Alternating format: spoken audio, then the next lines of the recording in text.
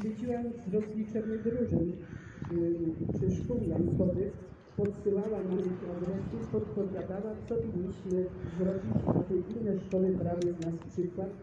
Delikatnie przypominała o zbliżającym się arsenale, bo niemożliwe byłoby, żeby Kolbuszowej na rajdzie arsenał nie.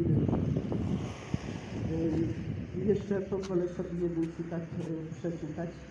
Y, Nie ochłonęłam jeszcze z dymów kadzidlanych, jakie złożono Jankowej pamięci, a już nadeszły wieści od pani Barbary Bachowicz ku niezmiernej radości, że wrażenie swoje przekazała do druhów stolicy, czasopismo, gdyż Kolbuszowa wielce sobie na to zasłużyła.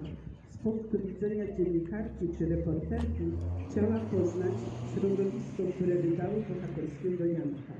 Całość uroczystości jest więc smutnej dziełem i szkoły, i szczepu, i sprzyjających, i życzliwych, i ofiarnych wykonawców. Możemy wszyscy zaintonować w górę serca czy hosanna. Koniec cytatu. 23, y, 23 czerwca 1989 roku na wieść o organizowaniu kolejnego zlotu napisała Tryumf nad Nilem, górę serca. Jeszcze jeden rok darowany Jankowi. To dużo. Bardzo dużo radości zagościło w mym sercu.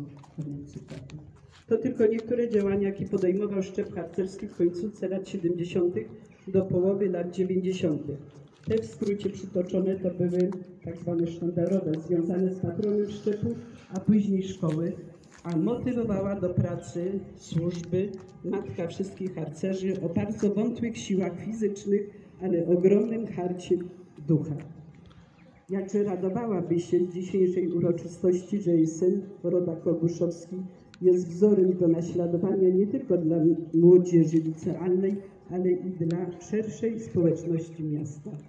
Dziękuję bardzo za uwagę, za przedłużenie, ale pewnie pamiętałam,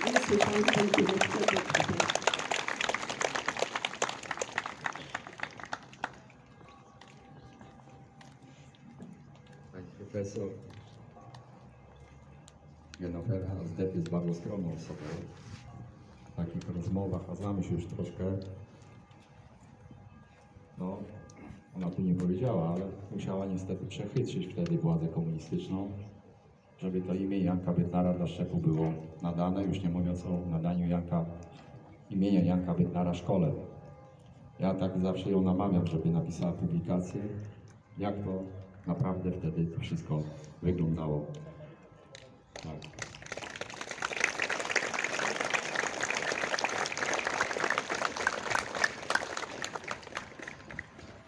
A teraz zapraszam wszystkich Państwa